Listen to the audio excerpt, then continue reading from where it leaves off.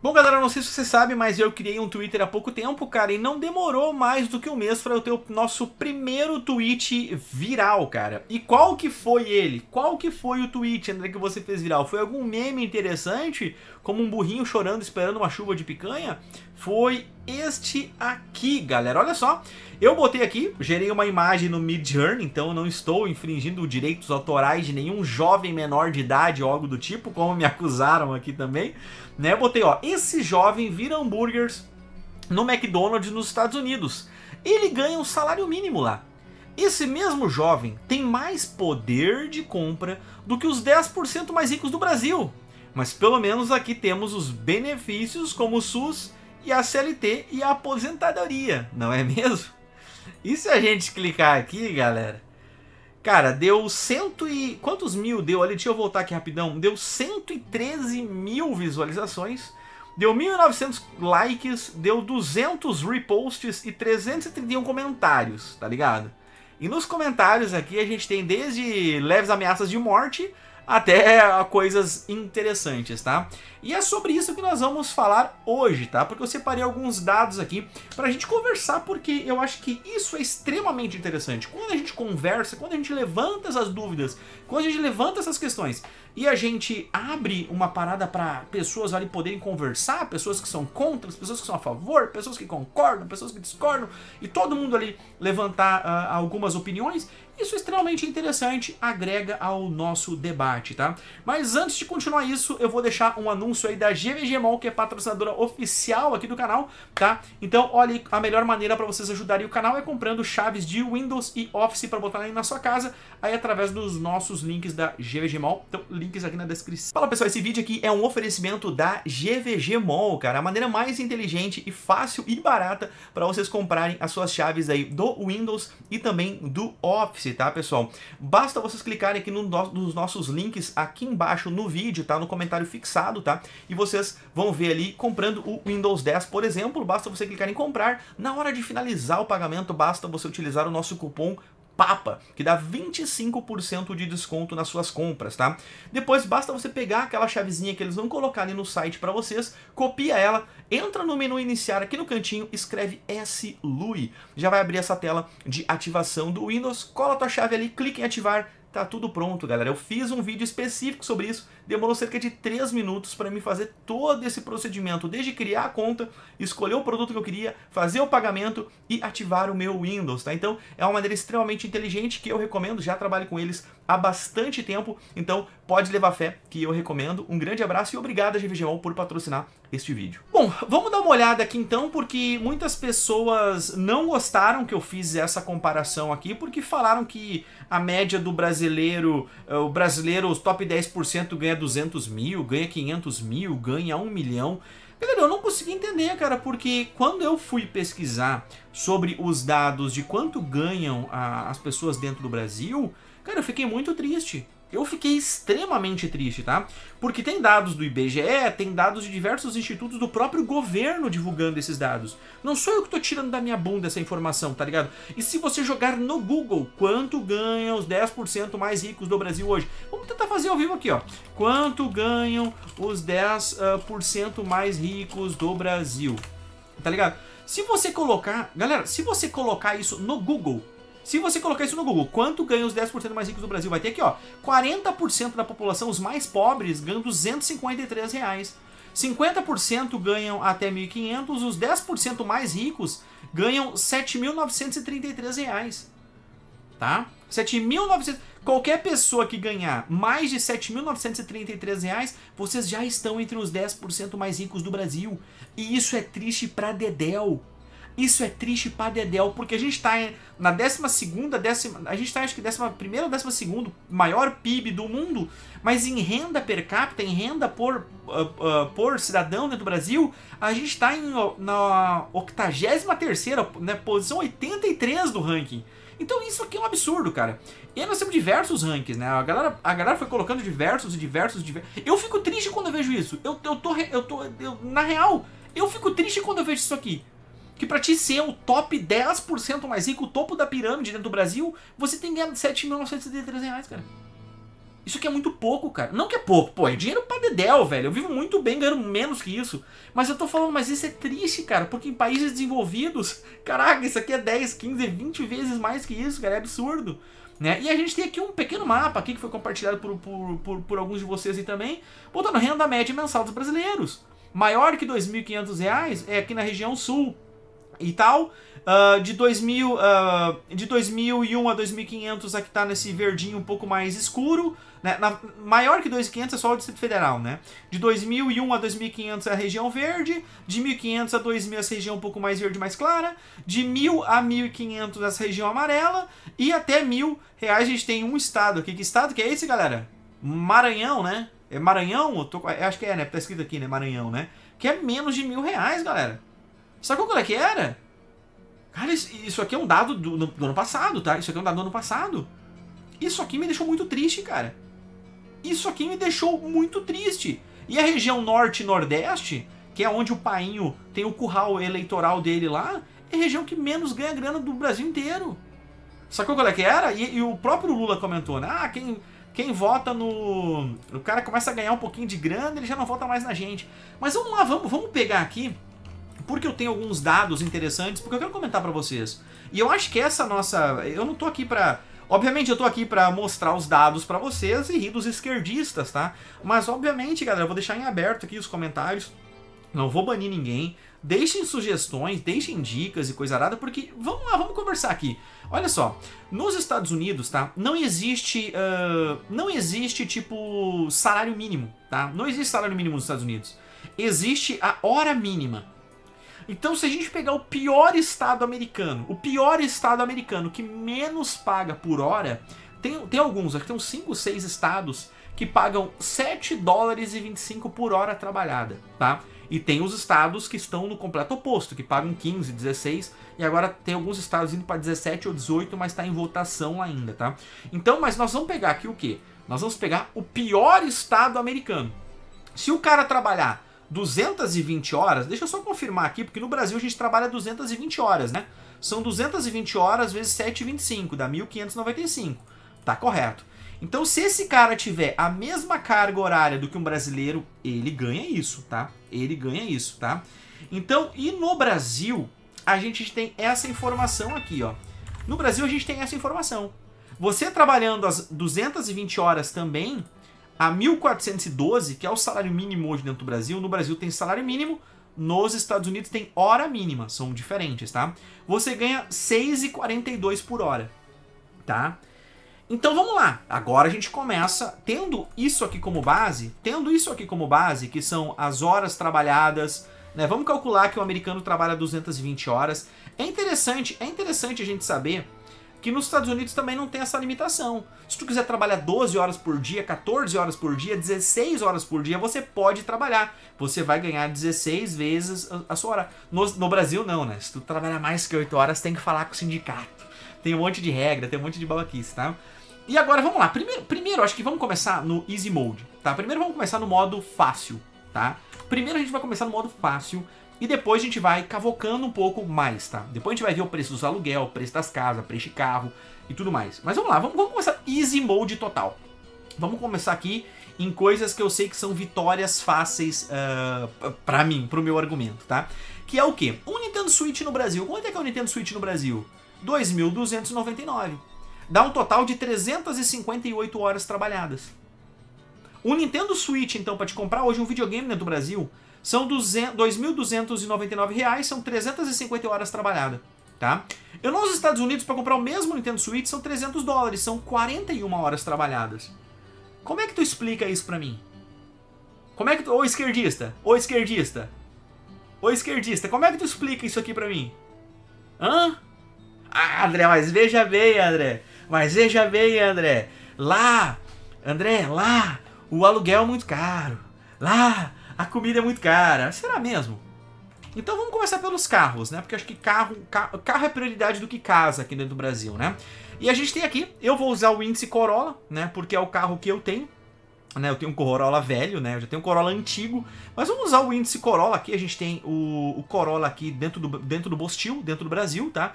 E nós temos aqui, cara, Corolla, tá? Então tem a versão aqui do Corolla, o GLI. O GLI é para quem vai comprar Corolla para fazer Uber, tá ligado? Geralmente motorista de táxi compra, porque é a única versão que tem uh, câmbio manual, tá? E aí tem o XEI, tá? Tem o XEI e tem o Altis, né? Tem o Altis, que esse aqui é para branquitude total, né, irmão? Mas, cara, para esse termo dessa comparação, eu vou pegar o GLI, tá? Eu vou pegar o GLI, que é o mais barato, é o Corolla mais barato que tem dentro do Brasil hoje. Ele custa 148.990 reais, tá? 148.990 reais. Então a versão mais barata dos Corollas, olha quanto é que ela custa aqui. Ela custa, deixa eu dar uma, uns enters aqui, pra gente deixar só o Corolla aqui, ó. Então um Corolla nos Estados Unidos, 22 mil dólares, tá? E um Corolla no Brasil, mais barato, 148 mil reais. Em quanto tempo uma pessoa compra um Corolla nos Estados Unidos em quanto tempo uma pessoa compra um Corolla no Brasil? Vamos lá ver? Olha quantas horas de trabalho dá. Olha quantas horas de trabalho dá. Nos Estados Unidos, nos Estados Unidos, ganhando 7 dólares e 25, ganhando, ganhando o salário mais merda possível nos Estados Unidos. Tu trabalha 3 mil horas. E no Brasil, 23 mil horas a, a diferença é leve. Então, nossa, André, não. O cara virando hambúrguer no, no, no, McDonald's, ele não vai ter esse poder todo de compra. Como que não? Como que não? Ele trabalha nove vezes menos para comprar um Switch, ele trabalha nove vezes menos para comprar um Corolla. Tá, André, mas aí tu tá aloprando, André. Porque sabe, sabe por qual é que era, André? Você tá olhando videogame. Pobre não come videogame. Pobre não come carro. Mas pobre tem que ter casa? Vamos, dar uma olhada no preço das casas? Vamos dar uma olhada no preço das casas, porque, porque a galera comentou assim para mim, André, o aluguel, André, o aluguel nos Estados Unidos é muito caro. André, o aluguel nos Estados Unidos é muito caro. Não, lá nos Estados Unidos o aluguel é muito caro. Eu falei, no Brasil é barato? E no Brasil é barato, galera? Eu entrei aqui nesse site chamado Zap Móveis, tá? E eu coloquei móveis e estância velha aluguel e botei para filtrar pelo mais barato. Botei para filtrar pelo mais barato. Então estamos em Estância Velha, Rio Grande do Sul, uma cidade com 45 mil habitantes. Eu botei para filtrar os imóveis por o mais barato possível. Galera, eu não vou clicar nos imóveis, mas eu cliquei nos imóveis. São imóveis mais antigos e tudo mais, né? Esse aqui eu até achei interessante porque diz aqui 80 metros quadrados por 800 reais, não me parece ruim, tá ligado? Mas tu clica no imóvel, ele é um pouco velhinho, né? Eu não vou entrar, não vou entrar no mérito de ser ou não ser uh, um imóvel mais novo ou não, né, cara? Então, tipo, aqui tem salas comerciais, né, que não, não são o nosso propósito, né? Tem muitas salas comerciais aqui e tal, não são o nosso propósito. Tá, eu vou clicar nesse primeiro, eu vou clicar nesse primeiro, já que vocês estão me pressionando, já que vocês estão me pressionando, tá? Então nós temos aqui, olha o imóvel. Vamos dar uma olhada no imóvel, 800 e poucos reais, tá? Uma sala grande, uma sala bem grande, na verdade, aqui muito mais grande do que a sala que eu tenho hoje na minha casa. Né? Então, uma sala legal, um banheiro aí o verdinho, ok. Tá, o banheiro verdinho, tem uma escadariazinha aqui do lado, ele é numa, num morro, né? É num morro e tal. Então, show de bola. Nós temos aqui, então, esse imóvel por 800 reais por mês, tá? Ok. E aí, a gente tem aqui, eu peguei um outro apartamento com dois quartos aqui, ó. Acho que é aquele segundo imóvel, né? Esse segundo imóvel que tá aqui, ó. 800 e poucos reais por mês. Porque o pessoal comentou o seguinte: mas nunca que um cara virando hambúrguer no McDonald's ele vai conseguir pagar um aluguel, ele vai conseguir comer comida, ele vai conseguir não sei o que lá. E eu falei, cara, mas vocês estão pegando a realidade. Eu tô falando ali, um jovem, primeiro emprego, provavelmente ele mora com os pais ainda. Eu tô falando do poder de compra, mas tudo bem. Vamos pensar que esse jovem mora com os pais dentro do Brasil e mora com os pais lá. Vamos, vamos simular coisas parecidas, vamos simular coisas iguais, tá? Mas olha só, a gente tem aqui então 800 reais, uh, tu começa a, a alugar algumas casas. Eu, eu preciso ser justo para vocês que aqui na minha cidade tem kitnets a partir de 550 a 600 reais. O kitnet é uma sala com cozinha junto e um banheiro. E em São Paulo eles chamam de flat isso, tá? Mas deixa eu mostrar para vocês o que, que a gente pode comprar nos Estados Unidos por algo muito parecido, tá? Aqui nós temos o aluguel de 765 dólares a 990 dólares, tá? Então aqui é uma, tipo uma república, né? Aquela, é vários apartamentinhos, como se fosse vários kitnets e tal. E aqui nós temos, né, cara, tem a descrição aqui tudo mais, tá? Tem a descrição aqui tudo mais, tem ali quantos metros quadrados são. Dá pra gente olhar algumas fotos aqui do interior, né? Olhar, ó, são várias, uh, vários negócios. É, é tipo uma kitnet, cara. É uma sala com cozinha, Uh, uh, na verdade, aqui é uma, é uma sala com cozinha, e aí tem um quarto e aí tem um banheiro. É um pouco mais que uma kitnet, é um pouco mais do que uh, um mero kitnet, né? E, cara, e tem diversas fotos aqui das, de, de, de diversas unidades que tem para vender. Não por nada, mas olhando aqui as fotos, me parecem que essas casas aqui são muito mais interessantes do que as casas que tem no Brasil. Mas vamos tentar achar uma muito mais barata, tá? Vamos tentar achar uma muito mais barata. Eu achei uma aqui que é, uma, é um porão de uma casa. Isso é muito tranquilo nos Estados Unidos, onde as pessoas fazem uma, uma reforma no porão e alugam o porão para alguém. Esse porão aqui, uma cama, um quarto, é uma kitnet, tá para alugar por 300 dólares. No Brasil, tu não acha kitnets por 300 reais, pelo menos aqui na nossa cidade tu não acha mais. E olha só, tem um banheirinho, ok, um banheirinho americano, tem carpete, né? É, geralmente são construções mais antigas. Tem um carpete aqui no quarto com um closetzinho. Tem uma cozinha ok né? E é isso, cara, tá ligado? Super barato por 300 dólares, tá? E nós temos aqui um pouco mais caro, olha só, aqui a gente tem diversas unidades também num condomíniozinho desses, entre 400 dólares a 650 dólares. Vale lembrar, pessoal, que eu tô pegando essas, essas construções americanas no estado de Iowa, tá? Eu quis pegar num estado pequeno é, para tentar simular uma cidade pequena como eu estou pegando aqui também, tá? Ah, eu estou pegando aqui distância velha, tá? Então nós temos de 430 dólares a 650 dólares. Aqui tem dois ou três quartos, tá? Então aqui já é um nívelzinho um pouco maior, tá? Aqui já é uma coisinha... Olha essa cozinha, cara. Pô, uma cozinha dessa custa 30 mil reais no Brasil, cara. Tá? Olha só. Olha que bacana. É uma unidade bem legal, tem dois ou três quartos, tá? Super tranquilo, cara. Super bem cuidadinho, super legal, né? Desse condomíniozinho aqui e tal, de 400 a uh, 650 dólares. Entendeu? Então, tipo, as pessoas e falam assim, não, mas o aluguel lá é caro, mas o, o aqui é barato isso, aqui é barato aquilo. Eu falei, irmão, uh, calma, calma, porque eu acho que a gente tem que a gente tem que olhar outras coisas também, né? Porque o pessoal vai falar assim, não, André, o aluguel tu ganhou, mas e o e para comprar uma casa? E para comprar uma casa, André? Como é que é uma como é que é uma casa para comprar? E eu entrei aqui no tal do Zap Imóveis novamente, coloquei aqui Estância Velha, Coloquei casas à venda e coloquei para filtrar por preço. Tá? Coloquei para filtrar por preço, tá? Então nós temos aqui as casas, eu não filtrei por tamanho de casa, eu não filtrei por nada, tá? Então a gente tem uma casa aqui, ó, Rincão Gaúcho, tá? Aqui um bairro de distância velha, ok? Né? Nós temos aqui uh, Casa no Sol Nascente, uma casa de 38 metros, aqui 38, cara, 38 metros quadrados é uma sala, é, é, é uma sala, né? É uma sala e uma cozinha junto, talvez, né? Aqui nós temos uma, uma casa de 53 metros, nós temos uma casa aqui de 50 metros. Então nós temos várias casas aqui, mas vocês estão vendo que o preço inicial é 100 mil. Não existe uma casa de menos de 100 mil reais, tá? Ah, pelo menos aqui na minha cidade não existe para vender nenhuma casa de menos de 100 mil. E vocês podem ver, cara, eu não quero julgar, porque eu nem casa tenho, eu moro de aluguel, mas nós temos aqui casas, é nítido olhar que são casas um pouco mais antigas, são casas uh, mais recuadas, não são casas ah, nem próximos aqui do centro da cidade, mas olha só, uma casa, uma casa, uma casa ok aqui, ó, 190 mil, tá? Uma casa de 190 mil, uma casa de 198 mil, uma casa de 199 mil. E, e é isso que eu falo para vocês. Eu gostaria muito que vocês fizessem esse exercício. Escreve aí, imobiliária na tua cidade. Escreve imobiliária e do nome da tua cidade. Entra numa imobiliária ali e olha os preços das casas que tem. Cara, vocês vão cair para trás vocês vão cair para trás. Porque eu também entrei lá nos Estados Unidos, eu entrei também lá nos Estados Unidos, nesse site aqui. Deixa eu puxar um pouco pro lado, deixa eu puxar um pouco pro lado. O Zillow, galera, ele é o maior agregador, tá? Ele é o maior agregador de, de venda de casas e, e tal dos Estados Unidos, tá? Então aqui a gente pode entrar no Zillow e a gente pode ver casas que tem em torno de... Então, eu acho que com o preço das coisas que a gente viu, que lá o salário mínimo é cerca de 1.500 a 1.700 dólares, ali 1.500, 1.600 dólares, e no Brasil é 1.400, dá pra gente fazer um, um, fator de equivalência, porque é quase um para um, tá ligado? É quase um para um essa equivalência, então o valor das casas vai ser mais ou menos isso.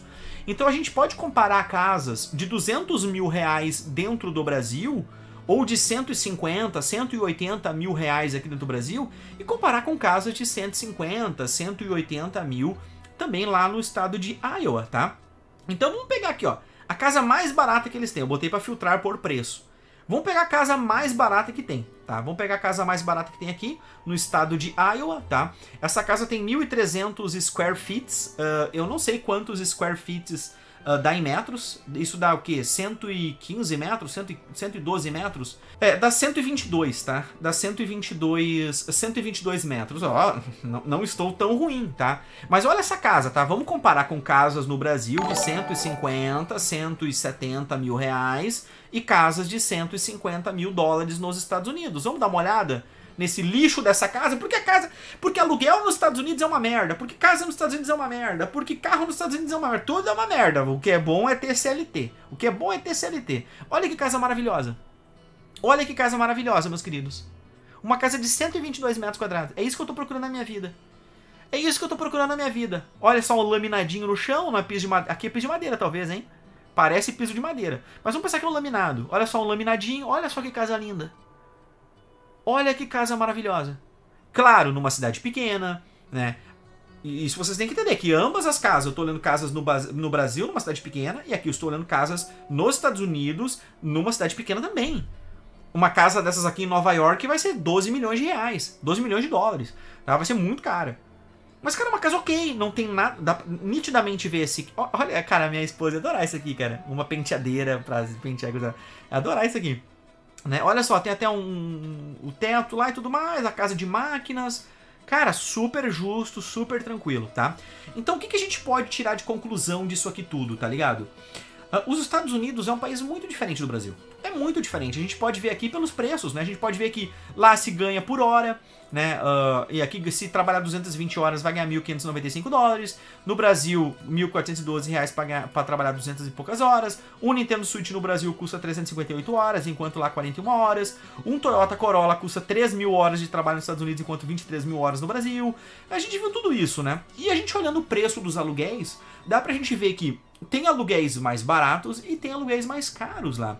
E eu vi algumas pessoas falando assim: nossa, eu fui para os Estados Unidos, ali naqueles comentários mesmo, eu fui para os Estados Unidos, trabalhei num emprego ganhando um salário mínimo e me ferrava, porque pagava 600, 700 dólares de aluguel, daí tinha que pagar isso, tinha que pagar aquilo. E eu falei: show, ninguém está questionando. A realidade é realmente essa. A realidade é que se você precisa se sustentar sozinho nos Estados Unidos ganhando seus 1.500 dólares, você vai passar bastante perrengue. Só que agora eu pergunto pra galera: e 1.412 no Brasil? Tu não passa perrengue? Porque a gente acabou de ver ali os aluguéis das casas. É um valor absurdo. Só que a gente olhou também kitnets, tanto nos Estados Unidos quanto no Brasil. a impressão que eu tive, e, eu, e, e dois amigos meus moravam nesses kitnets aqui perto da minha casa, a impressão que eu tenho é que os kitnets dos Estados Unidos são muito melhores do que os kitnets aqui dentro do Brasil, me desculpa. E olhando o preço das casas, me parece que 150 mil dólares e 150 mil reais são bem discrepantes também o que tu consegue comprar nos Estados Unidos com o que tu consegue comprar no Brasil. Eu vou falar um negócio para vocês, eu arrisco a dizer para vocês aí que as casas minimamente boas aí na, na tua cidade, elas vão começar a partir de 350 mil reais casas aceitáveis vão começar a bater 500 mil e casas muito boas vão começar a bater pelo menos 850 mil a um milhão de reais. Dei uma olhada nisso, tá? Então a questão é, será que eu menti quando eu falei? Uh, será que eu menti quando eu falei aqui que um cara virando hambúrguer nos Estados Unidos ele tem o mesmo poder de compra, ou melhor, ele tem mais poder de compra do que os 10% mais ricos do Brasil? Será que esse cara aqui virando hambúrguer lá, ele consegue ter um poder de compra tão bom quanto os 10% mais ricos do Brasil, a gente pode afirmar isso que sim. Olhando os dados, esse cara com 1.500 dólares, ele compra 5 Nintendo Switch no mês. É, o André, o André e o fator Nintendo Switch. Mas esse cara trabalhando virando hambúrguer no McDonald's, ele compra um Nintendo Switch, um PlayStation 5 e um Xbox. Se bobear, leva uma TV ainda de brinde. Só que o colega, se bobear, ele compra uma TV junto. No Brasil ele não compra nem o Xbox, nem o PlayStation, nem o, o Nintendo Switch e nem a TV. Sacou qual é que era? E aí eu quero deixar. Eu quero. Eu, eu, eu, eu, deixo bem claro. Eu não vou deletar nenhum comentário, não vou banir ninguém.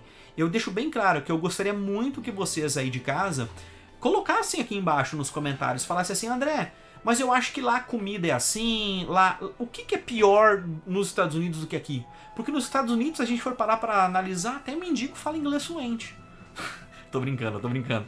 Mas, tipo assim, coloque aqui embaixo o que, que vocês acham que realmente é uh, pior nos Estados Unidos. Ah, André, mas nos Estados Unidos não tem SUS e aqui tem. Galera, o pessoal que trabalha lá nos Estados Unidos paga 90, 100 dólares por mês para ter o seguro saúde. Que é a mesma coisa que pagar um plano de saúde no Brasil. Você paga 100 reais num plano de saúde no Brasil? Você não paga. Eu sei que eu não pago. Tá? Eu sei que eu não pago. Então, tipo assim, o cara fala assim: não, mas os Estados Unidos não tem SUS. Lá, se o cara sofre um acidente, ele se fode. Eu falei: tá, mas no Brasil o cara não se fode? No Brasil o cara não se fode? Quando o cara vai pro SUS, o cara é curado instantaneamente. Lá até o Faustão, irmão. Você não é o Faustão, irmão. Você é um pangaré. Você é um pangaré. Infelizmente, você tem 50% de chance. Ou você consegue ou você não consegue atendimento.